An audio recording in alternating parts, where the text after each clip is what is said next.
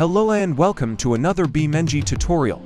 In this video I will show you how you can boost your FPS, even if you have a weak PC, or you just want those extra frames per second. This will also work for the people that just want to fiddle around and learn about the settings. Remember that you can always go back to the default ones. We will cover three settings that have a very big impact on the frames per second, but before we dive into those, please like the video, subscribe to the channel and activate the notification bell. The first topic that we are going to tackle is located inside the World Editor. To open the World Editor, press F11 on your keyboard. Now on the left side, where it says Scene Tree, search for the level info. Clicking on it will open its parameters that we can modify on the inspector window on the right side of the screen. Here we are going to modify the visible distance parameter. What this one does, it tells the game how far do you want the map to be rendered.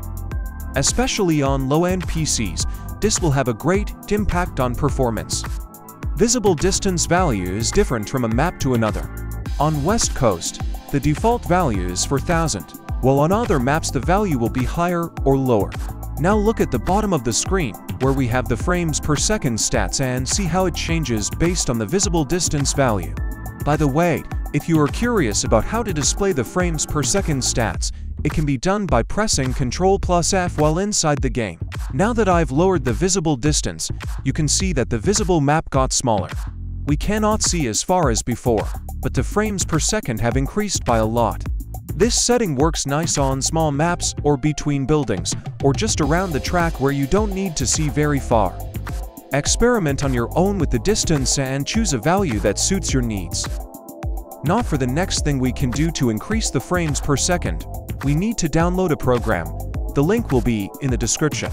Once you've downloaded it, just place the archive in the mods folder. You need to bind it to a key.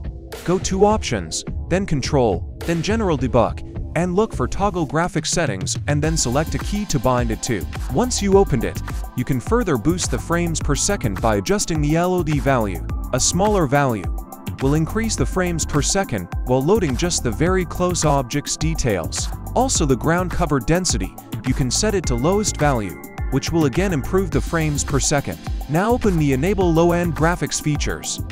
From here you can check all the boxes for the highest frames per second possible or just experiment with them until you find a nice balance. Now for the last thing to improve the frames per second, we will use the Options menu. Go to Options, then go to Camera and if you are in the orbit camera, set its field of view modifier to a lower value. You will that the frames are increasing greatly based on this setting. And that's it.